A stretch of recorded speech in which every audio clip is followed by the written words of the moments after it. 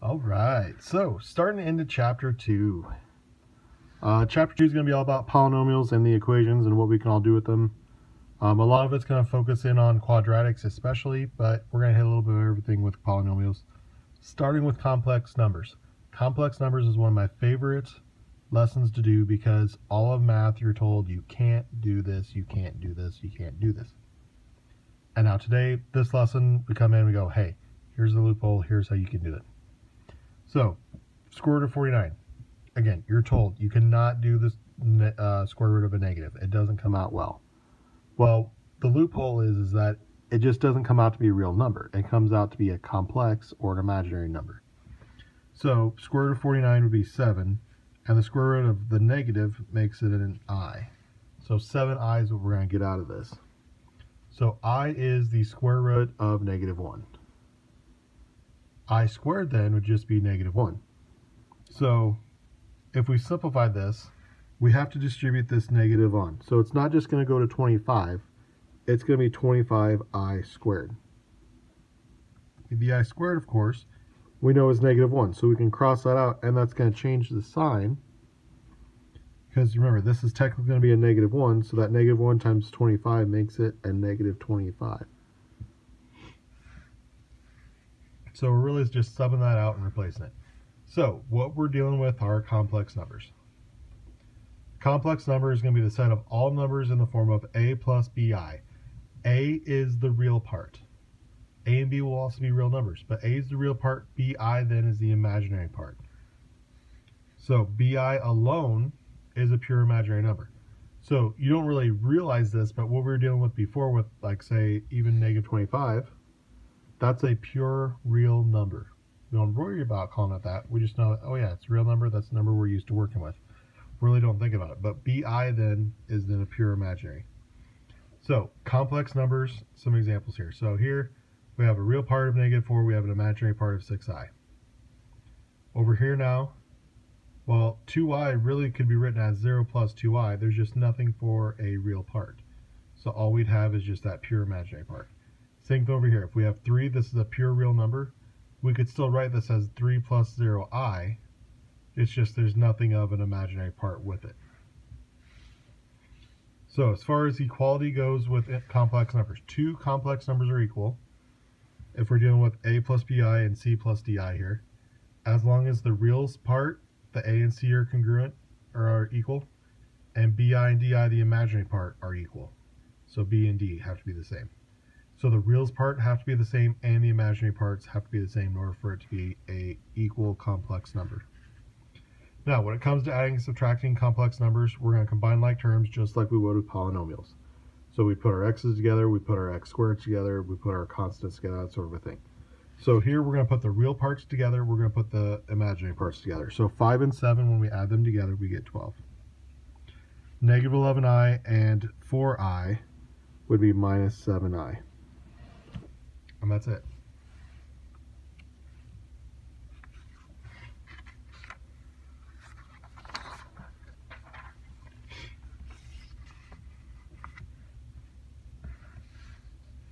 So if we subtract them, same thing. Although here I would distribute this negative in. So negative to both of those. So that we can just do negative 5 and positive 11, which makes 6. And positive i and positive 6, which makes a plus 7i.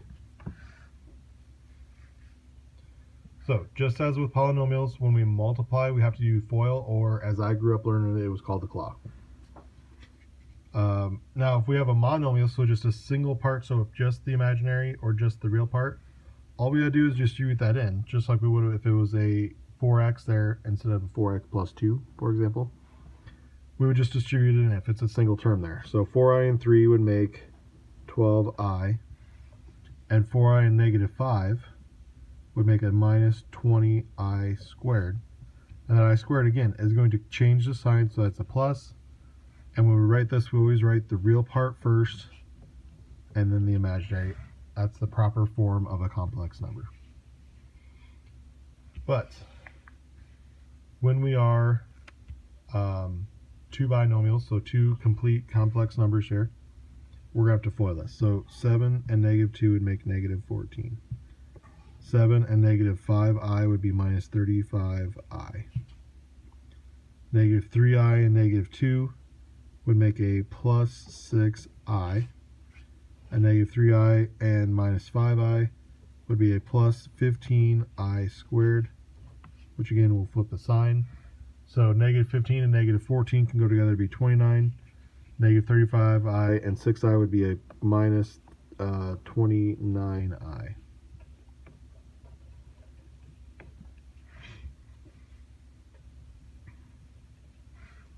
Right. Now, just like with um, with polynomials, we can get a conjugate of the complex number. So if it's a plus bi, it changes to a minus bi would be its conjugate. Same thing going the other way. If it's a minus bi, the conjugate would be a plus bi. Um, and just like with square roots, we can't divide by an imaginary number. Um, you can try, but it's not going to end out well. Because again, we have an imaginary part and that adds a whole new dimension to it. So to get rid of, what we do is we use that conjugate to get rid of it in the denominator.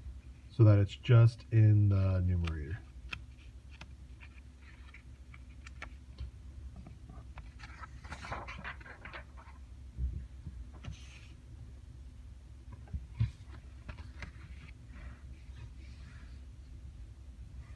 So if we go to simplify this, so we can't have that i in the bottom. So we're going to take it times the conjugate of the bottom. So 2 plus 5i. Same thing on top, 2 plus 5i. So the top one we, just, we have to FOIL, so 7 and 2 would make 14. 7 and 5i would be plus 35i. 4i and 2 would be plus 8i. And 4i and 5i would be plus 20i squared. We're going to deal with that in just a moment. The bottom, because they're conjugates, the middles are going to cancel, so it's just 2 and 2, which would make 4. Negative 5i and positive 5i would be a minus 25i squared. So, i squareds, remember, we cancel that and we change the sign. So we cancel this, change the sign. And we put things together. 14 and negative 20 would be a negative 6. 35 and 18 would make plus 43i. The bottom 4 and 25 would make 29.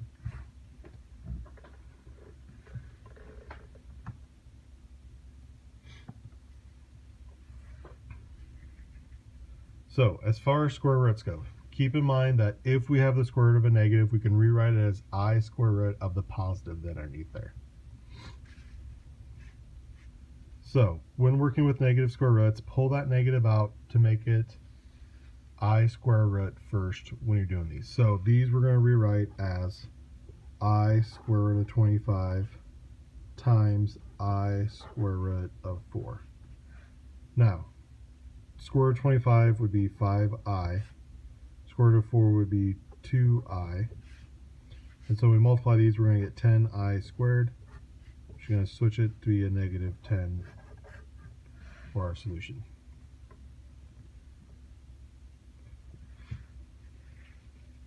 Now, just like with polynomials, if we subtract, we have to have that same square root uh, in order to subtract them. So we may have to do some manipulation here to make that work. So the first thing I'm going to do is I'm going to make this i squared of 18 minus i squared root of 8. So 18 I could break down to 9 and 2 which goes to 3 and 3. 8 can go to 2 and 4, which goes to 2 and 2. So my exit buddies, I can pull a 3 out. I can pull a 2 out. So what I'm going to have here is this. So 3i square root, we still have a 2 left over, minus 2i square root, we still have a 2 left over. So now they're the same. So there are 3i squared root of 2, 2i squared root of 2. So the i squared root of 2 all has to be the same in order to do it. If this was just 3 square roots of 2, and this one was our 2i squared root of 2, we wouldn't be able to do it. The i squared root of 2, so that whole thing has to be the same in order to subtract the coefficients in front. So we're the same here, so we'd end up with an i squared root of 2 for our final answer.